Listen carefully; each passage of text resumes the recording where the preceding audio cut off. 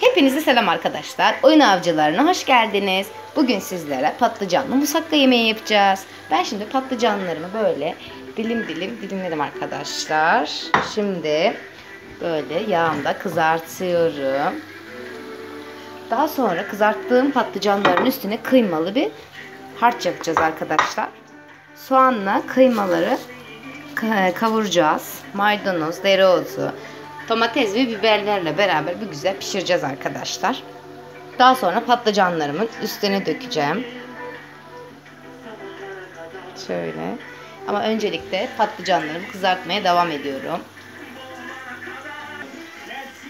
Arkadaşlar tekrar merhabalar. Ben patlıcanlarımı kızarttım. E son bu kadar kaldı. Bunları da kızartacağım. Daha sonra e, soğan ve biberlerimi kavuracağım. Domates, kıyma hepsini bir harç yapacağım arkadaşlar.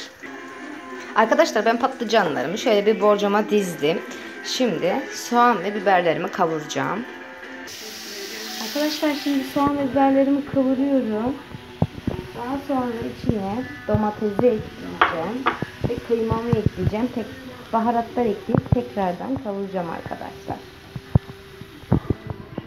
Patlıcanlarımı şöyle kenara çektim. En son harcı pişirdikten sonra maydanoz ve biraz da dereotu doğradım arkadaşlar. Onu sonradan ekleyeceğim içine. Evet arkadaşlar. Şu an soğan, biber, domateslerimi kavuruyorum. Biraz da tuz ekledim. Bunları bir güzel kavurduktan sonra kıymasını da ekleyeceğim. Baharat olarak pul biber, karabiber ve tuz ekleyeceğim arkadaşlar. Kimyon da atabiliriz. Evet arkadaşlar ben baharatlarını ekledim. Biraz karabiber, pul biber, tuz, biraz kimyon attım. Şöyle karamelize bir renk aldı. Şimdi kıymamı ekleyebilirim arkadaşlar. Kavurmaya devam ediyoruz.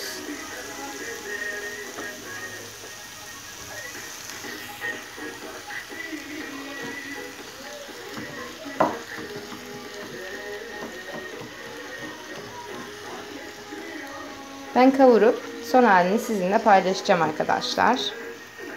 Şimdilik kavuracağım.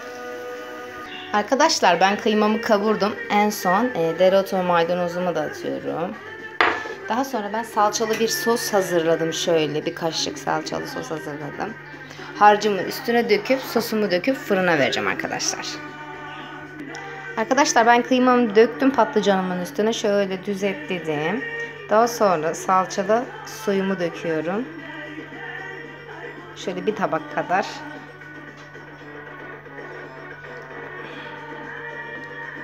Bu çekene kadar pişireceğiz. Şimdi fırınımı ısıtacağım ve suyunu çekene kadar pişireceğiz arkadaşlar. Son halini sizinle paylaşacağım. Şimdilik hoşçakalın.